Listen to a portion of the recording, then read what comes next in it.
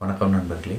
ஆதிகால மனிதன் தனது உணவு தேவைகளை விலங்குகளை வேட்டையாடி பீய்த்தும் பழம் காய்கறிகளை பீய்த்தும் ஆய்ந்தும் பீராய்ந்துமே பெற்றுக்கொண்டான். பைட் என்ற ஆங்கில சொல்லுக்கு to pierce or cut with the teeth என்று ஆங்கில அகராதி பொருள் உரைக்கிறது. மேலும் பைட் என்ற சொல் பைத் என்ற சமஸ்கிருத சொல்லிலிருந்து உருவானதாகவும் கூறுகிறது. பைத் என்ற சமஸ்கிருத சொல் பீத்து என்ற தமிழ் சொல்லின் ஊடே வந்ததே. பீத்து பைத்து பைட். ஆக பீத்து என்ற தமிழ் சொல்லை பைட் என்று ஆங்கிலத்தில் மருவியுள்ளது. உலகினை தமிழின் கண்ணோட்டத்தில் பார்ப்போம். தமிழே மொழிகளின் தாய். வணக்கம்.